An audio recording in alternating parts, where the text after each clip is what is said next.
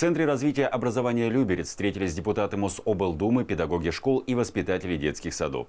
Круглый стол «Перемены. Передовое образование» прошел в рамках серии встреч по обсуждению инициатив для включения в народную программу партии «Единая Россия» «Подмосковье. Территория перемен».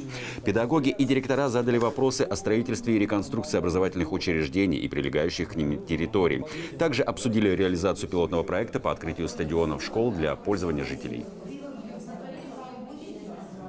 Хотелось бы узнать ваше мнение, насколько вообще вы считаете это целесообразным, и э, как вы э, думаете, какие меры контроля должны быть? Я вообще считаю, что однозначно надо э, использовать для жителей э, э, ресу- ресурсы, пространство, коммуникации вот, спортивные, школьные.